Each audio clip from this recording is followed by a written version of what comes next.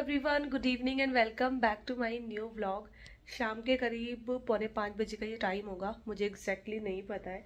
और लंच वगैरह करने के बाद ना, मैं यहाँ पर जो है लेटने के लिए आ गई थी। और अभी भी मेरा ये रजाई से जो है निकलने का मन नहीं कर रहा है, बिल्कुल भी। लेकिन निकलना पड़ेगा। सैटरडे संडे दो दिन खूब मस्ती कर लिए, खूब मनमानी कर ली है फाइनली अब कल से फिर से रूटीन में वापस आना है। कल से बच्चों की स्कूल है और कल है दोनों बच्चों का एग्ज़ाम और दोनों के दोनों में से कोई भी पढ़ाई नहीं करा है। मुझे यहाँ तक आवाज़ आ रही है कि दोनों लैपटॉप देख रहे हैं। और पता है, ये बच्चे ना ऐसी फ़ायदा उठाते हैं। मतलब मैं सो जाऊँगी ना तो जब तक इनको डांट नहीं पड़ेगी ना, तब तक ये पढ़ने के लिए नहीं जाएँगे। और आज तो इनका ट्यूशन भी नहीं था, इस ज़्यादा ही मस्ती कर रहे हैं। अभी जाऊँगी किचन में चाय बनानी है और वंशिका के पापा इससे पहले शायद मूवी देख रहे थे और मूवी देखते देखते वो भी सो गए हैं।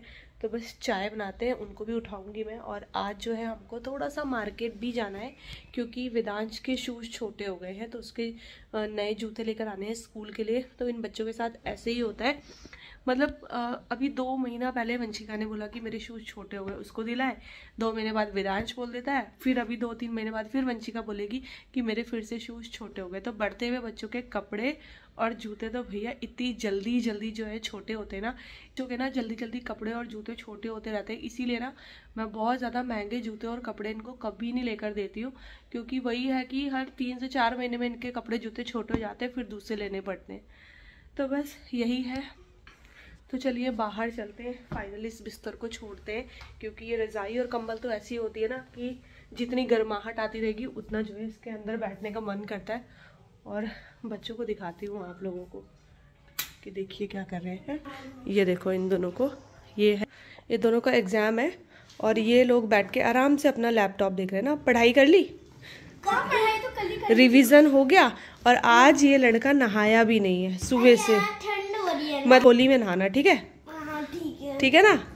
ठंड में नहाते नहीं है तो होली में नहा लेना आप। हंस रहा है और। खड़े हो जाओ दोनों। और ये क्या खाया यहाँ पर? इसमें क्या खाया? स्ट्रॉबेरी? चम्मच से? कौन खाता है? अच्छा। और ये देखो। उठो भाई उठो चलो। उठो। दोनों उठ जाओ। अब यहाँ पर बैठ जाओ आराम से। और अपना निकालो कल का जो भी तुम्हारा एग्ज़ाम है। बेटा। ये कटोरी रख के आओ जल्दी से। वंशिका इसके साथ मत बैठा करे तेरे को भी अपने जैसा बना देगा जैसे ये खुद है। अच्छा, अच्छा ही तो नहीं है बहुत खराब है खराब है। चल खड़ा हो जा फटाफट से। खड़ा हो जा। हाँ, इतना आलस नहीं दिखाना आलसी। चलो। वंशिका।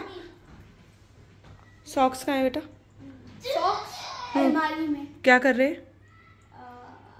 आराम कर रहे हैं? सो रहे जल्दी। सॉक्स जल्दी। सॉक्स पहनो। सॉक्स पहनो तुरंत। वेदांश सॉक्स पहन चल। जल्दी से। ठीक है? चलो। कौन सा पहनो अरे बेटा कोई सा भी पहन लो ना। बताओ ना। ये पहन ले। चल। ये लो। तुरंत पहनो।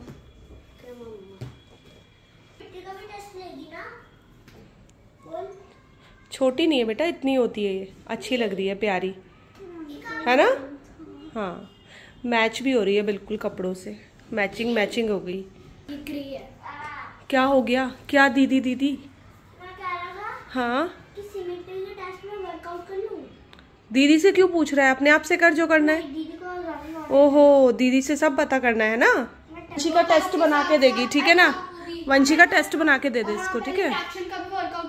ठीक है। और ये देखो यहाँ पर फ्रूट्स खा के इनके छिलके यहीं रखे हुए हैं। यहाँ पर जो है ना मैं चाय बनाने के लिए आई थी और मैं ना बर्तन ढूंढ रही थी चाय का तो पहले मैंने सारी जगह चेक किया, लेकिन फिर मेरी नज़र एकदम बास्केट में गई तो वो सबसे नीचे रखा हुआ था।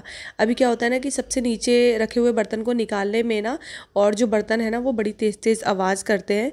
तो मैंने सोचा क्यों ना मैं पहले इन बर्तनों को ही सेट कर दूँ इनकी जगह पर तो फिर वो जो है ईजिली निकल जाएगा। तो इस बहाने मेरे बर्तन भी सेट हो जाएँगे, और मेरा थोड़ा सा काम है ना, जो वो भी ईजी हो जाएगा।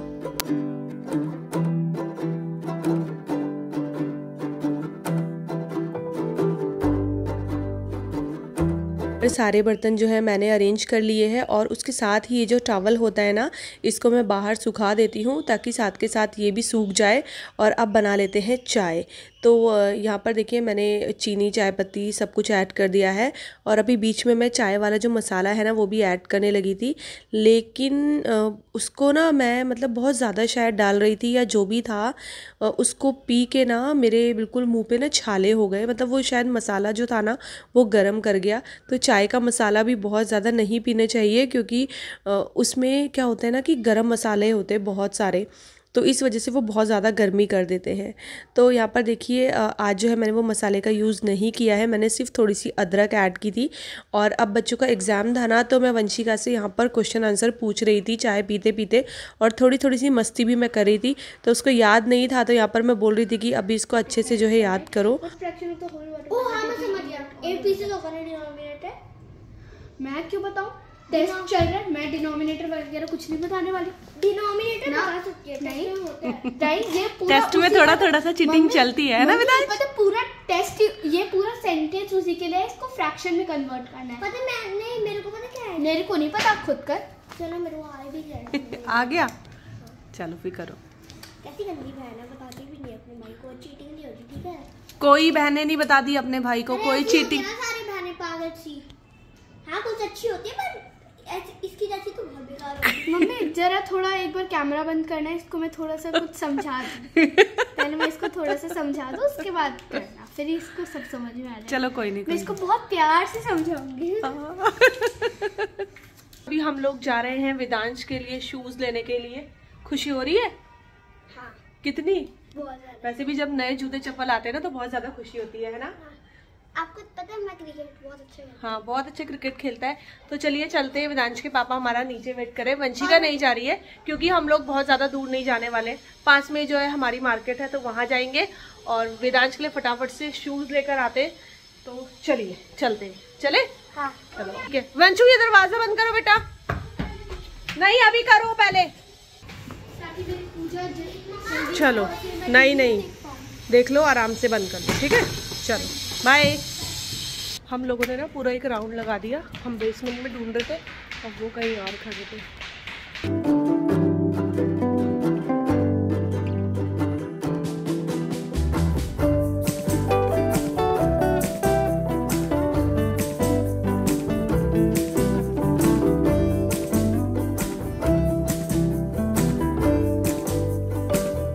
तो भाई, यहाँ पर आ गए हैं वेदांश के शूज़ और वेदांश हो गया बहुत ज़्यादा हैप्पी कल नए जूते पहन के जाने वाला है ना?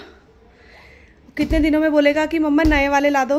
नहीं नहीं जब छोटे हो जाएँगे। क्या? कल तो फिर पता है क्या होगा फिर उसके बाद? ही चलो उठो अब पढ़ाई करो। पढ़ाई बहुत घूम लिया। और ये देखिए प्रेस के कपड़े भी आ गए। इनको भी लगाना है अभी सेटिंग से और वंशिका को देख लेते हैं क्या कर रही है। और ये देखिए बस। मम्मी के जाने का वेट होता है और यहाँ टीवी ऑन हो जाता है। ऐसा क्या चल रहा है इस टीवी में? कौन सी मूवी अच्छा ये देखिए इनकी टीवी आ गई थी मार्केट से और मार्केट से मैं आई तो देखा प्रेस के कपड़े आ गए थे तो बस सोचा कि इनको अरेंज कर देती हूँ पहले। और हाँ ये वाला ड्रेस आपको बहुत पसंद आया था, जो मैंने पहना हुआ है तो ये मैंने लोकल मार्केट से जो वो लगती है ना ट्यूसडे मार्केट और सैटरडे मार्केट तो वहाँ से लिया था। ये मुझे फोर हंड्रेड एंड फिफ्टी का मिला था।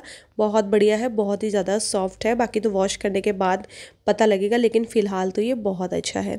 अच्छा मुझे कुछ लोगों से कुछ बात करनी है। अभी कुछ टाइम से मेरे वीडियोज़ में मेरे वेट को लेके बहुत सारे कमेंट्स आ रहे हैं तो कुछ पॉजिटिव होते हैं, कुछ नेगेटिव होते हैं। और जो नेगेटिव होते हैं, वो इतने गंदे और इतने भद्दे होते हैं कि मैं उनको बता भी नहीं सकती हूँ यहाँ पर। तो सबसे पहले तो मैं उनको बोलूँगी कि जिसको मेरे मोटापे से प्रॉब्लम है तो वो मेरा वीडियो ना देखे। और दूसरी बात ये है कि यार ठीक है, मोटापा कोई नहीं चाहता कि उसकी बॉडी में इस तरीके से जो है वेट गेन हो, लेकिन कुछ प्रॉब्लम्स होती है हर औरत के साथ। एक एज होती है एज के साथ इतनी सारी बॉडी में चेंजेस आते हैं। तो ये एक फ़ेज़ होता है जहाँ पर जो वेट है ना वो गेन हो जाता है। ये नहीं है कि मैं भी चाह रही हूँ कि मेरा वेट गेन हो, लेकिन ये खुद से हो रहा है तो मैं अभी कर रही हूँ कोशिश और जो भी चीज़ें हैं ना, वो धीरे धीरे करके ही मैनेज होंगी। तो कृपया ना इस चीज़ को लेके भद्दे कमेंट मत किया कीजिए। मतलब मुझे ये लगता है कि चलो हमारा वेट तो अभी गेन हुआ है कुछ टाइम से, लेकिन जो लोग वाकई जो लेडीज़ मोटी होती है, उसका तो यहाँ ना दुनिया जीना हराम करके रखती होगी ना। तो मतलब एक बात और बोलनी है कि कोई औरत नहीं चाहती है कि उसका वेट बढ़े, लेकिन कुछ चीज़ें होती हैं जिसकी वजह से वेट गेन हो जाता है। तो बॉडी शेमिंग करना ना इतनी गलत चीज़ है ना, लेकिन इन जैसे लोगों को नहीं पता है जो आके जो है वीडियो पे गंदे गंदे से कमेंट्स करके चले जाते हैं। और मैं वो कमेंट्स इसलिए नहीं रखती हूँ अपने वीडियोस में, मैं तुरंत डिलीट कर देती हूँ, क्योंकि मुझे पर्सनली भी अच्छा नहीं लगता है इस तरीके के कॉमेंट्स अपने वीडियोज़ में रखना। तो अगर आप लोग चीज़ों को समझ नहीं सकते ना, ये जो ऐसे गंदे कमेंट्स करके जाते हैं तो प्लीज़ आप लोग वीडियो मत देखा कीजिए।